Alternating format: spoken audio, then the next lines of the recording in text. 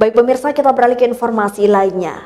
Kedatangan Komandan Kodim 0824 Jember Letkol Infantri Laudi Muhammad Nurdin di acara dialog interaktif bersama lintas agama yang dilaksanakan di Kecamatan Umbul Sari Jember disambut dengan musik bala ganjur yang dimainkan oleh warga setempat.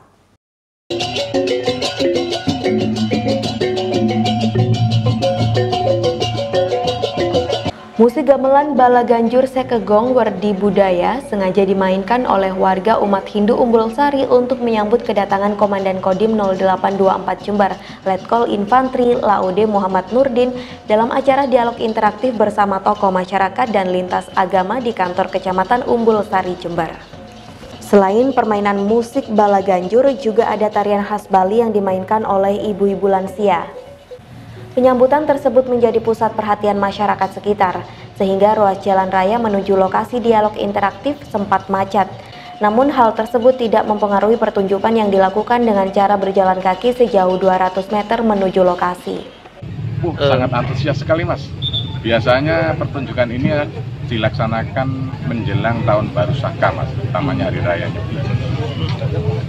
Ini adalah uh, apa kesenian tradisional umat Hindu yang ada di Desa Gunung Sari, Kecamatan.